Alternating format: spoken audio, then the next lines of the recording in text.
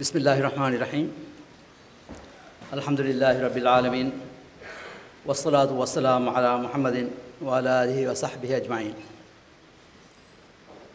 Excellency Rear Admiral Abu Said Muhammad Abdul Awal the High Commissioner of the People's Republic of Bangladesh to the Maldives Excellencies distinguished guests ladies and gentlemen.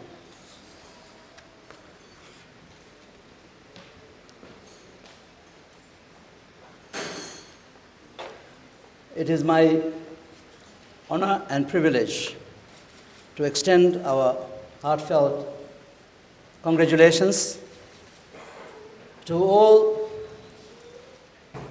people of Bangladesh, especially those who are residing in the Maldives, and to the leadership of Bangladesh on this occasion of the 42nd Independence and National Day of the People's Republic of Bangladesh. Since the establishment of diplomatic relations 34 years back, Maldives and Bangladesh have shared a close bilateral relationship based on close ties of friendship and mutual respect. The strong and cordial relation at diplomatic level is only one aspect of the enduring ties between our two countries. In fact, relations between Maldives and Bangladesh can be defined more accurately in terms of its people to people contact. The governments of the two countries can and will nurture and consolidate those ties. Bangladesh accounts for the largest group of expatriate workforce in the Maldives. By hosting such a large number of Bangladeshi expatriates, the Maldives makes a small contribution to the economy of Bangladesh. But contrary to that, Bangladeshis make a huge contribution to the economic growth and development of the Maldives. Let me reiterate here government's unfailing commitment to ensure the rights of the expatriate workers in the Maldives are fully protected in accordance with the relevant laws of the Maldives. I think it is important this, on this auspicious occasion to reflect on the conditions of expatriate workers, especially our Bangladeshi brothers and sisters in the Maldives.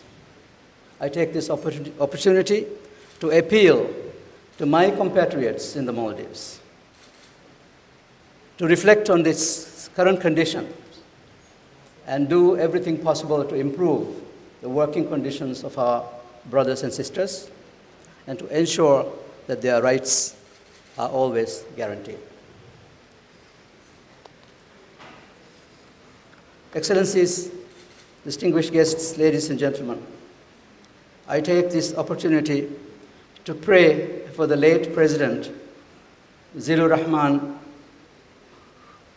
who will no doubt be remembered as a distinguished Bangladeshi statesman who played a very prominent role in fostering the values of democracy and human rights in Bangladesh. Ladies and gentlemen, the independence of Bangladesh is one of the strongest symbols of human beings' innate desire to be free from oppression and their strong determination to let the will of the people to prevail. Bangabandhu Sheikh Mujib Rahman struggled to secure dignity and freedom for the people in Bangladesh. For all freedom loving people, it is an inspiration and a lesson to be learned.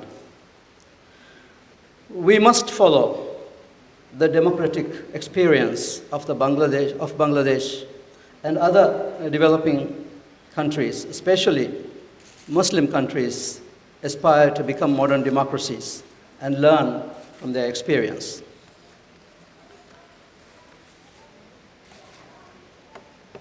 I would also like to take this opportunity to particularly thank the government of Bangladesh, especially Her Excellency Prime Minister Sheikh Hasina and Her Excellency